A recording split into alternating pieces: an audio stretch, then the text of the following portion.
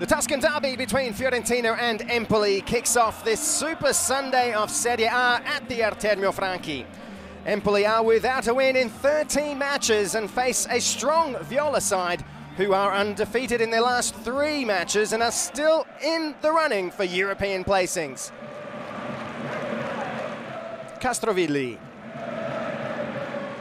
Intelligent box for Nico Gonzalez. A nice ball in the box and the shot from Nico Gonzalez, the first of the match. Free kick, it's Castrovilli standing over the ball. To Biraghi, who sets up a shot. Vicario with a fantastic effort to save from that shot from Biraghi. Stulac, uh, high ball inside. The header from Tonelli is straight to Terracciano. Biraghi gets it back from Duncan. The cross from the Ghanaian. The header saved again by Vicario. And then Igor the shot from Castrovilli does not test the keeper. Di Francesco now, who takes on Milenkovic. The ball in the middle, just over the top of Pinamonti. Given away here, and the overhead kick is spectacular from Federico Di Francesco. Empoli lead in Florence. Luca Massimi runs over to the monitor.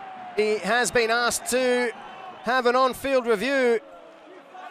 Pinamonti has taken the boot from underneath Terracciano. And the goal is disallowed.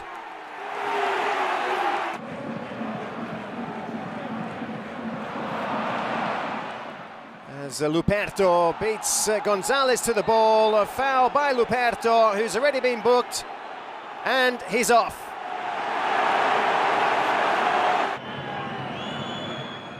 And it's Biraghi who goes for goal, and it's deflected in. Nico Gonzalez breaks the deadlock in the derby.